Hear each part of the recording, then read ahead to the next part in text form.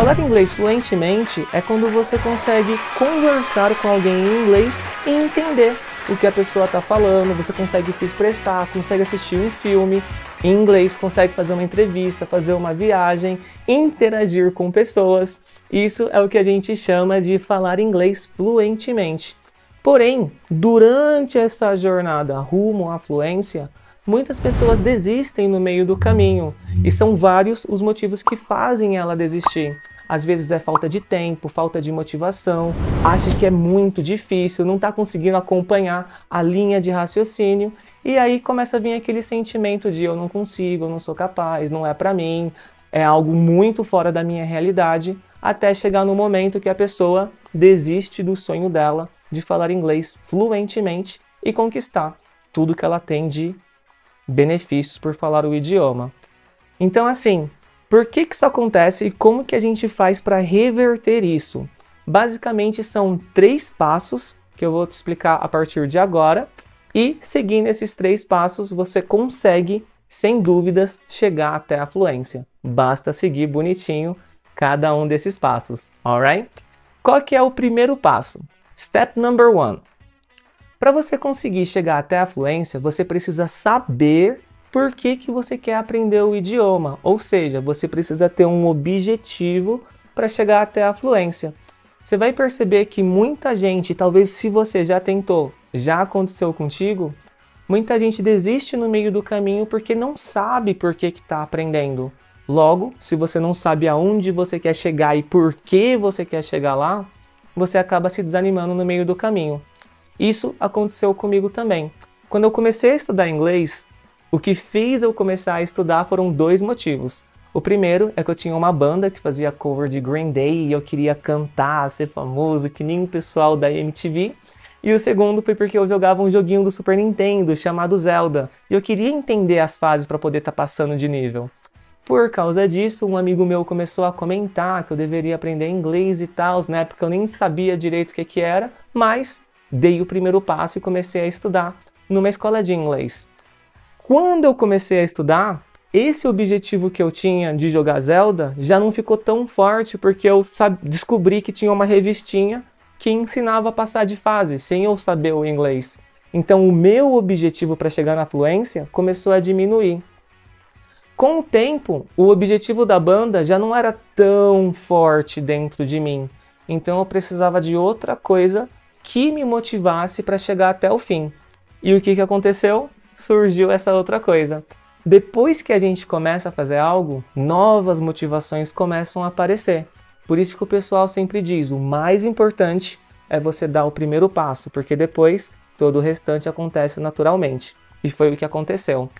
Mais ou menos uns seis meses de curso, tinha uma aluna lá na escola, né? Eu era aluno também, que se chamava Carol. A Carol, eu comecei a gostar dela, né? Acontece coisas da vida.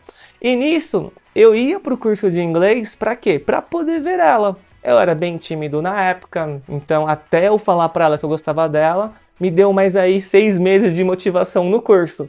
Até chegar um momento que ela desistiu do curso e eu fiquei já com menos motivação. Só o que me segurava era o fato de eu ter a banda e também de eu ter feito um compromisso com a minha mãe de que eu ia me dedicar e estudar no curso, né? Só que aí foi passando o tempo e eu peguei uma professora muito ruim depois, muito ruim, péssima, horrível, meu Deus, oh my gosh. E nisso eu fui percebendo que todo mundo estava avançando e eu tive a sensação que eu era o único que não estava, porque quem também não estava já tinha desistido. Ou seja, a minha motivação, o meu motivo para continuar foi ficando cada vez mais fraco.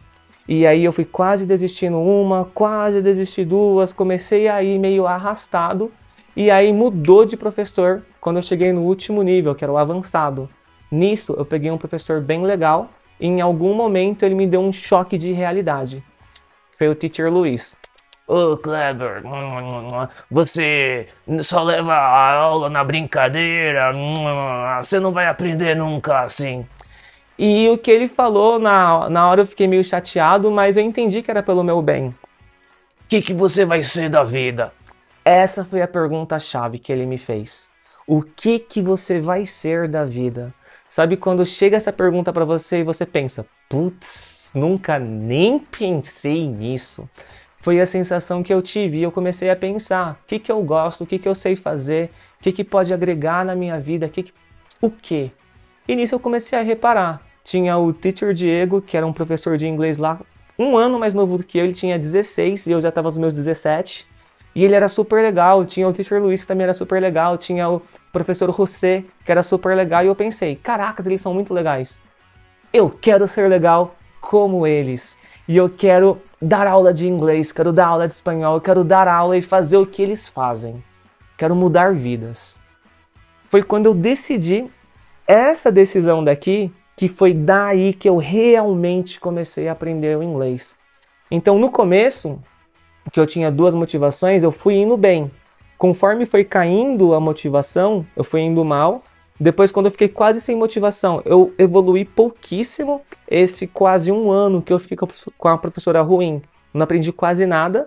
E nesse finalzinho que eu tinha uma motivação boa, muito forte, eu consegui aprender em seis meses o que eu não tinha aprendido em três anos.